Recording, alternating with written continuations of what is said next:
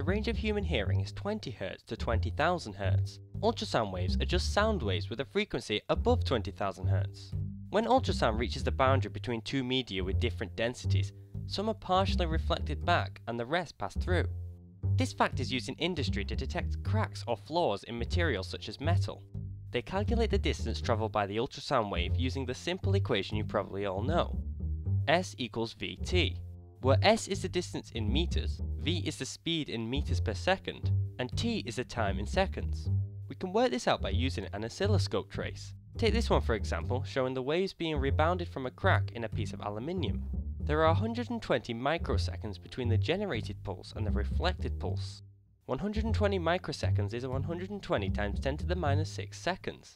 Now all we need to do is sub this value along with the speed of sound in aluminium into the equation to find the distance of 0.758 meters. But remember this is double the distance because the time we measured was the time it took for the waves to travel to the crack and back. So the actual distance is half of this. Because ultrasound partially reflects at the boundary between different media, it is extremely useful for the use in prenatal scanning. It partially reflects at all the different types of tissue, which can be interpreted by a computer to put together an image. Very high frequency ultrasound waves have other medical uses too, like breaking up big kidney stones into smaller pieces so that they can be passed out with the urine with minimal pain.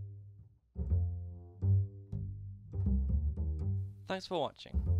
Make sure to hit the like button and subscribe if you enjoyed the video and want to see some more. You can also follow me on Twitter at DoodleSci if you want to.